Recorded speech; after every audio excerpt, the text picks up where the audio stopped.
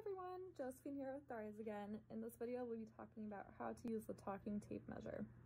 So to turn on the talking tape measure, you can press any button. So I'll press zero inches here and it'll tell you what setting it's in right now. If you want to change the setting, it's in inches right now. So if we press on mode or the on again, zero inches, inches, zero inches, millimeters, zero millimeters, centimeters, zero point zero centimeters, zero point zero zero zero meters, feet, inches, zero inches. All right, so if you just press it enough times, then it'll come back to the measurement that you're trying to do. So, um, this, uh, sorry. Turning off in five seconds. Oh, um, this talking tape measure is really nice because it will remember your measurements for you. So um, if you do want to add a measurement, so say you're measuring something, we'll get this box here and you pull it out. Oh, here. Let's turn it on. One sixteenth of an inch.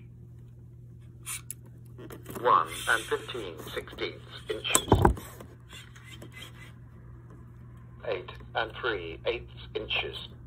I'll tell you there. Eight and three eighths inches. Eight and three eighths inches. And it will tell you twice.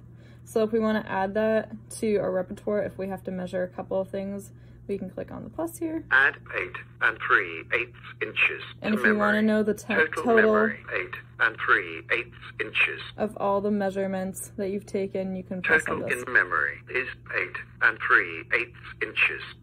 Perfect. All right, and then if we want to retract our tape measure here, we'll press on this big blue button and make sure your fingers are out of the way. And I'll see back. So that is the talking tape measure. We also have the talking calculator available, which I have um, reviewed how to use seconds. in another video.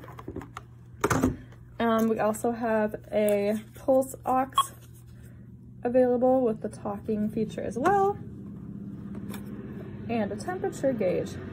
So um, if you are looking for any talking devices, these would be really helpful to check out if you're having trouble um, viewing the measurements that you're getting on um, regular devices, these will be really nice to have that auditory input as well. So yeah, thank you guys for watching. Bye.